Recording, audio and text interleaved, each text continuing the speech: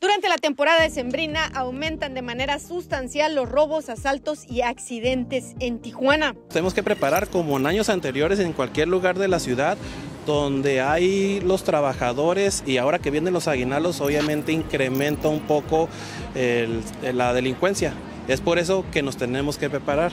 Para prevenir la incidencia delictiva, arrancó el programa Diciembre Seguro, en donde desplegarán de manera estratégica a los 1.750 elementos de la Policía Municipal y 465 bomberos en la ciudad.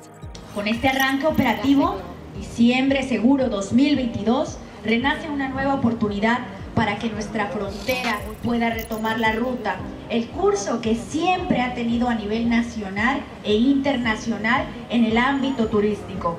Esto se verá reflejado en el esfuerzo y las estrategias que la Seguridad Secretaría de Seguridad Pública y Protección Ciudadana Municipal gracias a la tecnología y a través de las distintas corporaciones y direcciones que la integran.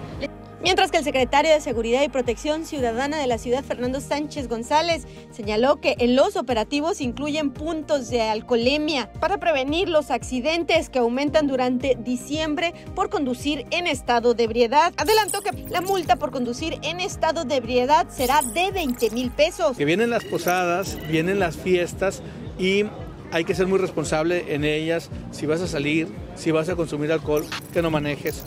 Eh, que utilices un eh, medio alterno de, transporte, porque vamos a tener eh, el operativo con los puntos de alcoholímetros, porque lo que queremos evitar pues, son accidentes fatales. ¿no? Entonces, vamos a hacer conciencia, vamos a hacer algunos mensajes preventivos, pero también pues, vamos a actuar.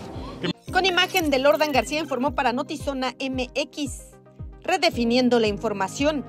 Ana Lilia Ramírez.